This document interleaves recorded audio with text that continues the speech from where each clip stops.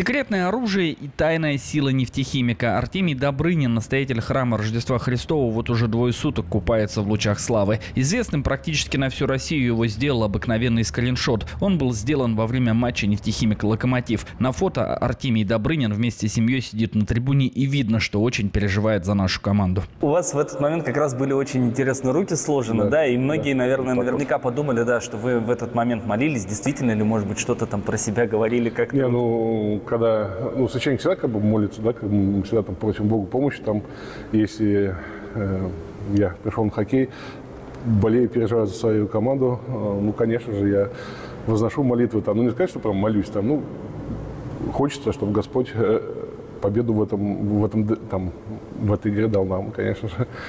Тот матч против «Локомотива» для нашей команды складывался очень тяжело, и наверняка на трибуне тихонько молился не только Артемий Добрынин. Нижнекамцы в итоге одержали победу с редким для хоккея счетом 1-0. Единственную шайбу забросил воспитанник нижнекамского хоккея Никита Хоружев.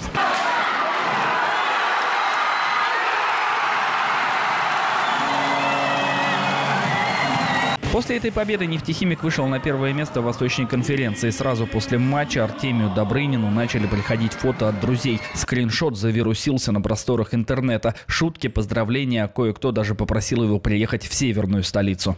В Петербург приглашали некоторые там особо такие люди, которые переживают за СКА.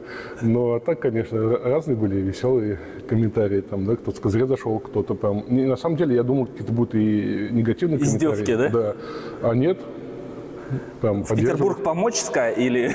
Ну, там решить некоторые проблемы, так скажем, тренерскую, на тренерском составе, да. Но это такая какая-то была шутка, в общем. Мы от Питера далеко, так что я сказал нет.